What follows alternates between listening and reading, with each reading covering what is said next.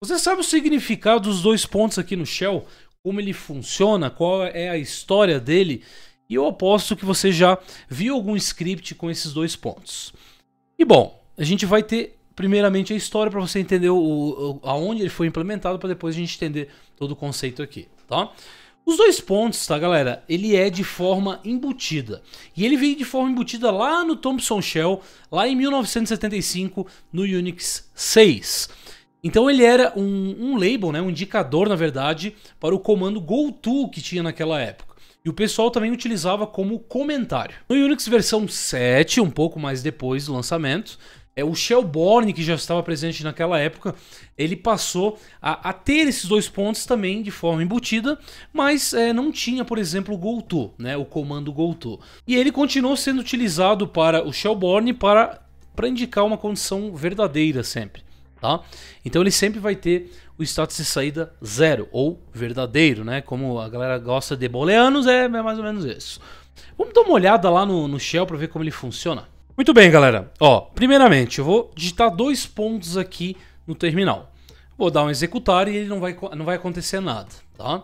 Então se eu dar um echo dólar interrog para ver o status de saída desse comando, ele vai dar zero. Então ele é um comando, tá? E ele está, mais uma vez, embutido no próprio shell, que a gente utiliza aí, tá bom? Normalmente bash, sh e por aí vai. É, em, numa forma de script, que eu vou botar aqui a teste, tá?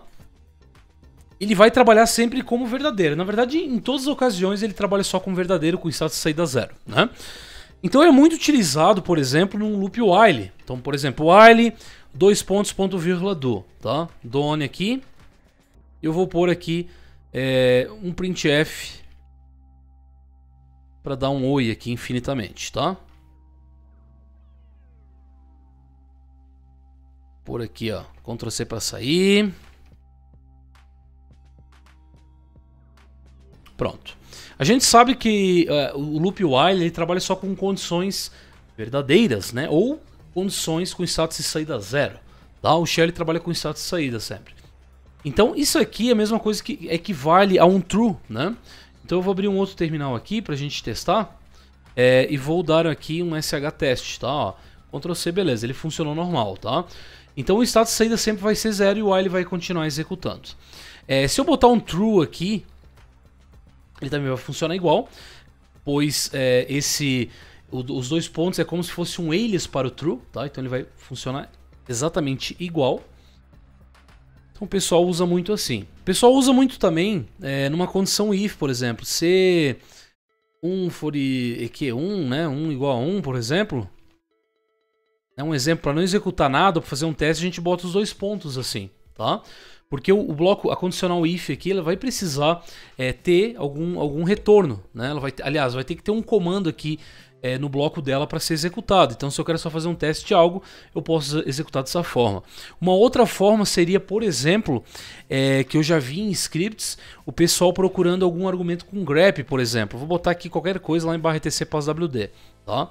E o retorno dele sempre vai ser diferente de zero quando ele não achar, né? Ele não achou aquela informação que você passou para o grep. Ele vai ter sempre um status, status diferente de zero. Se eu pôr aqui, por exemplo, um pipe pipe, tá? Um operador lógico OR, tá? Ou ou, é, ele vai executar algo para mim se a condição aqui falhar. Então, como que eu quero que se falhar, eu quero ambos, se falhar ou não, eu quero que o estado de saída seja zero, posso botar os dois pontos assim. Após esse pipe pipe, esse operador lógico, tá? Ó, o status de saída agora vai ser sempre zero quando ele não achar algo. Então já vi gente trabalhando dessa forma também. Tá? Uma outra forma também interessante de usar esses dois pontos é, seria um bloco de comentários. Ah, para, Jeff. Eu tô falando.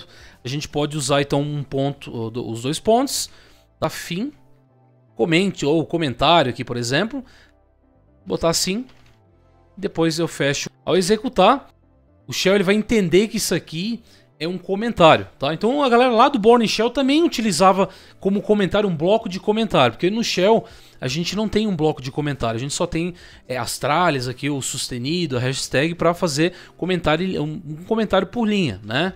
Então se eu botasse aqui já não iria, não iria dar. Então teria que fazer um, um, um comentário por linha a linha. Aqui eu já consigo criar um bloco de comentário. Vai pesar, Jeff, um pouquinho, né? Porque eu estou usando dois comandos aqui. Isso aqui não vai pesar, o shell não vai identificar isso aqui, mas é, eu estou usando dois comandos aqui basicamente. Então vai pesar um pouquinho a mais com, com esse, essa, esse sustenido, tá bom? São inúmeros casos que a gente pode vir a utilizar esses dois pontos aqui. Tá? Agora, sempre que você olhar isso aqui em algum script ou algo do tipo, os dois pontos equivalem a true, tá? a verdadeiro. Ou seja, o retorno dele, o status de saída, é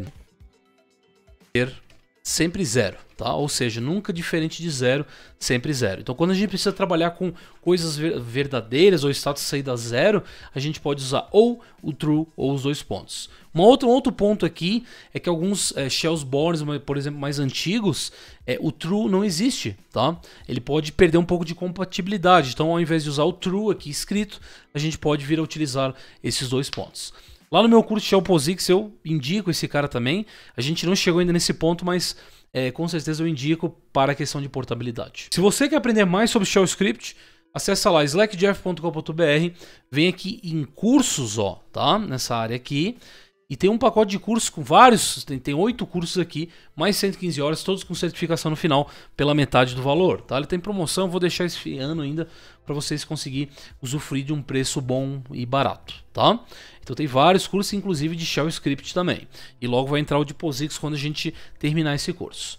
Temos também um curso ao vivo aqui, ó, que é para você aprender Linux em 20 dias, desde lá do iniciante, que você que não sabe nada, vai usufruir desse curso.